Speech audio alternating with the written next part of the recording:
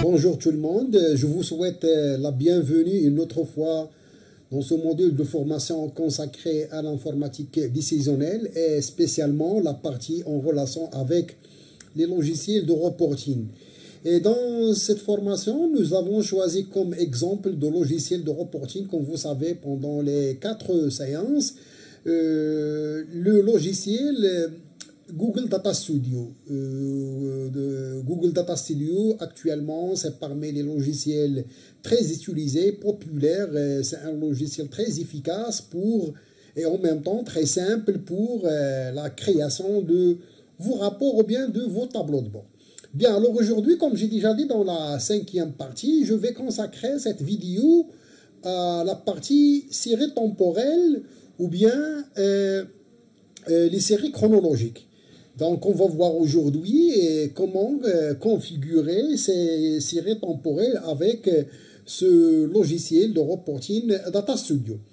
Alors, je commence d'abord par vous expliquer d'abord c'est quoi une série temporelle. Donc, une série temporelle, c'est tout simplement une, une relation entre une variable, une variable, par exemple ici, c'est les inscriptions, et le temps. Donc ça, c'est l'axe temps. L'axe temps, ça peut être une année. Euh, je vais le mettre avec une autre couleur. Euh, ici, par exemple, c'est euh, l'unité, c'est les jours. Donc 01 janvier, 01 01 2020, 02 01 2020, ainsi de suite. Donc dans l'axe temps, on peut avoir parfois les heures, parfois les minutes, parfois les secondes, parfois les jours, parfois les semaines, parfois les mois, les années.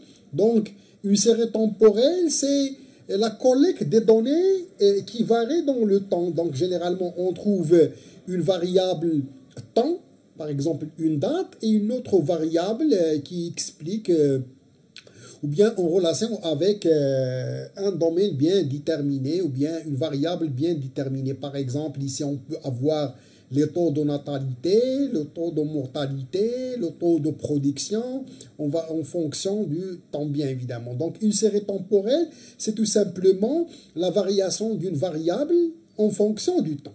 Bien. L'utilisation des séries temporelles actuellement, il y a pas mal de domaines concernés par les séries temporelles. Et Inch'Allah, dans les prochaines vidéos, il y aura des formations euh, dédiées pour les séries temporelles et surtout pour la prédiction en utilisant des séries temporelles.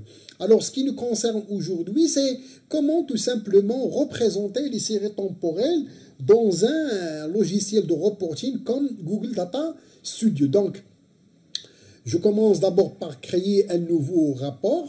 Donc, mon nouveau rapport est le suivant. Donc, euh, comme chaque fois, je commence d'abord par euh, renommer le, le, rapport par un nom en relation avec la vidéo. Donc aujourd'hui, c'est Time Series. Je vais le renommer en, en anglais. En français, bien évidemment, c'est série temporelle ou bien parfois on l'appelle euh, les séries chronologiques. Bien. Alors, comme on a déjà vu avec Google Data Studio, premièrement, avant de commencer un rapport, il faut d'abord savoir quelles données vous voulez utiliser ou bien il faut se connecter aux données que vous voulez utiliser dans votre rapport. C'est donc euh, le menu plus pour se connecter à, aux données concernées par euh, la série temporelle. Donc, je clique sur euh, plus, voilà, ajouter données, et je vais normalement chercher les données avec lesquelles je vais tracer mon série temporelle. Donc, pour faire. Donc, euh, puisque toujours actuellement dans tout l'ITP, on a limité les, données au fichier CSV. Donc, je clique sur importer fichier CSV. Et après, donc, euh, je descends un petit peu pour puis importer. Tout ça, on a vu tout ça là, dans les autres vidéos. Alors, donc, euh, la série temporelle euh, j'ai déjà normalement un fichier exemple, le voilà, qui s'appelle Time Series DS. Donc ça c'est un fichier, je vais vous expliquer après quelles sont les colonnes ou bien qui sont les, euh, quelle est la structure de ce fichier. Donc on attend ici l'opération d'import.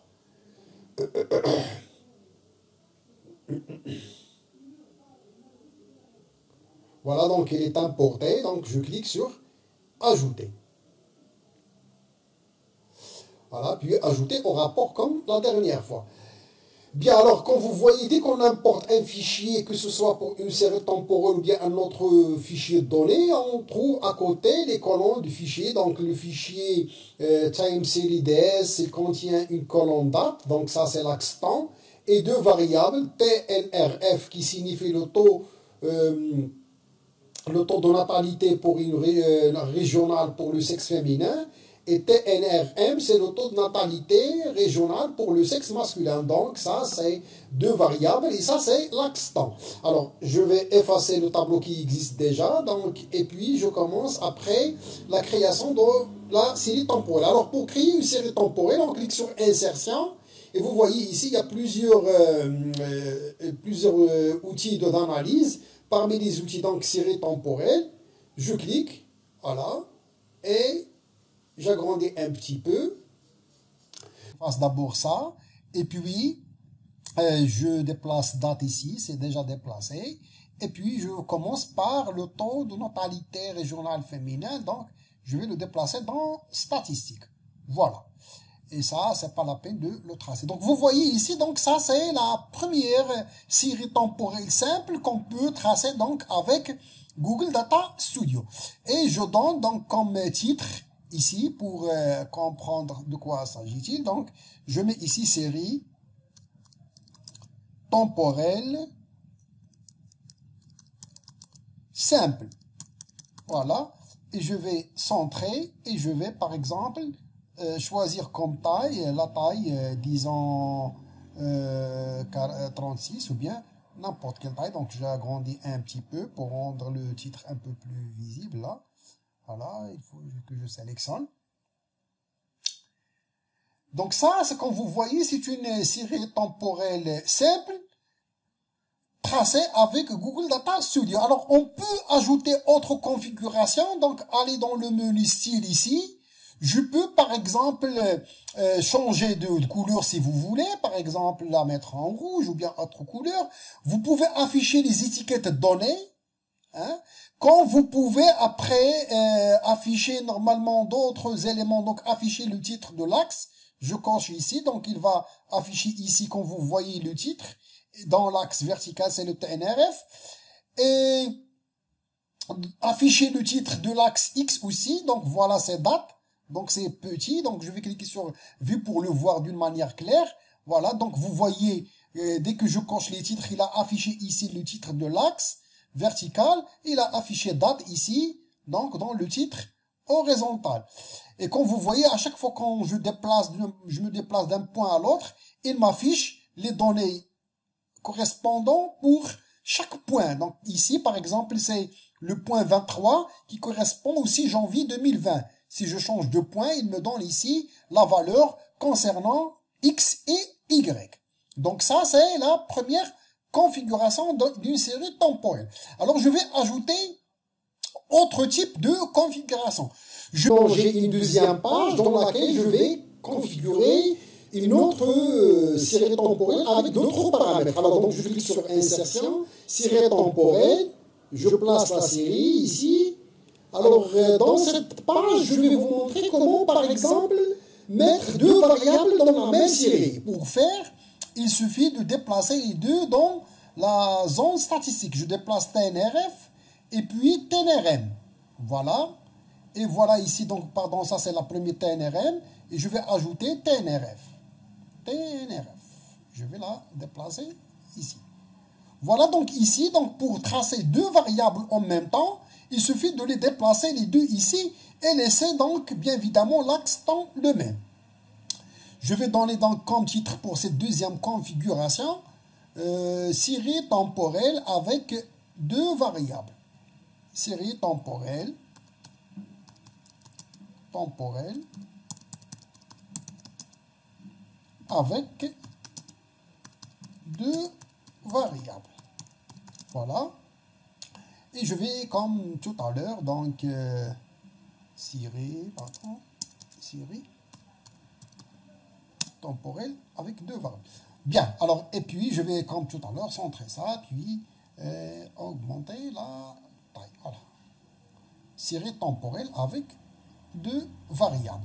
Alors maintenant, je vais ajouter, euh, si vous voulez par exemple ajouter les autres configurations, donc euh, par exemple afficher les étiquettes, ou bien vous pouvez bien évidemment changer de couleur, ou bien ce que vous voulez comme, donc euh, je vais ajouter également les, quoi encore, donc les l'axe, et ajouter les points, et afficher les points. Bien, pour les deux séries. Très bien. Donc ici, vous voyez que j'ai affiché les points. Donc, euh, je rappelle que les points, donc je n'ai pas expliqué tout à l'heure comment les ajouter. Il suffit de cliquer ici pour afficher les points. Donc, alors maintenant, on va voir une troisième euh, configuration d'une série temporelle avec euh, Google Data Studio. C'est comment lisser une série temporelle. Donc, je clique sur Insertion, série temporelle.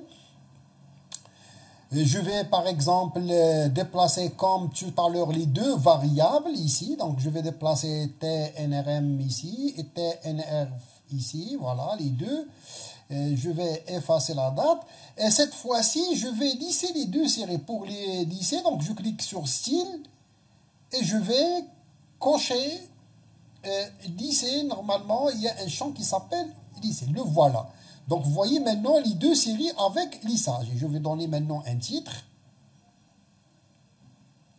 Série temporelle. Série temporelle.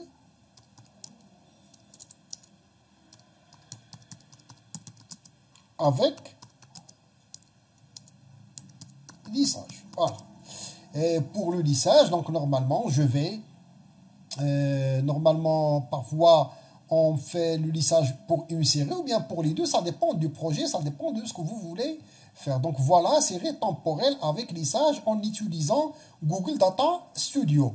Alors, parmi les configurations qu'on peut normalement avoir avec euh, Google Data Studio, c'est de chercher une ligne de tendance. Et je vais maintenant vous expliquer c'est quoi le, la ligne de tendance. Je vais ajouter maintenant une autre page.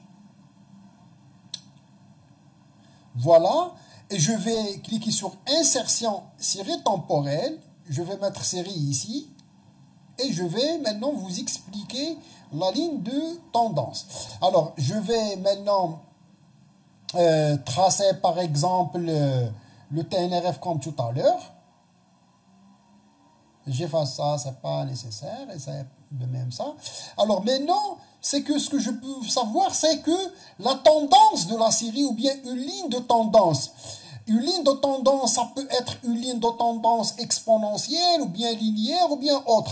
Et parfois, dans pas mal de projets, surtout des projets de prédiction des séries temporelles, et dans des premières étapes, on aura besoin de savoir la ligne de tendance. Donc, je clique sur Style et je demande à mon Google ou bien mon logiciel de me tracer la ligne de tendance. Pour tracer une ligne de tendance, je clique ici, il y a un menu spécial pour ça qui s'appelle ligne de tendance. Et je choisis le type. Euh, moi, je vais commencer donc par ligne linéaire. Vous voyez, et la tracé maintenant la ligne n'est pas un peu normalement claire, donc je vais augmenter euh, l'épaisseur ou bien la, taille. Donc, voilà, et je vais changer de couleur. Je vais la mettre avec une autre couleur. Vous voyez maintenant, ça c'est une ligne de tendance. Généralement, l'équation de cette ligne, c'est y est égal à x plus b. Donc ça, c'est l'équation de la ligne de tendance. Euh, malheureusement, avec euh, Google Data Studio, on ne peut pas la calculer à B, mais euh, juste avec Microsoft Excel ou bien avec n'importe quel autre logiciel, si vous êtes intéressé par, disons, par la formule de cette ligne de tendance, on peut facilement calculer les coefficients de A et B pour savoir cette équation de ligne de tendance. Euh, généralement, surtout pour les, les, projets de prédiction, on aura besoin souvent de voir cette ligne de tendance de la série temporelle. Je vais mettre ici, donc, série temporelle, série temporelle avec une ligne de tendance. Temporelle.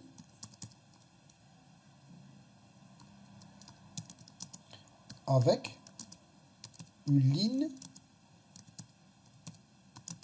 de tendance. Voilà. De tendance. Voilà, donc je vais ça, le mettre centré. Et voilà, donc je mets ça. J'augmente un petit peu plus la taille pour rendre les titres.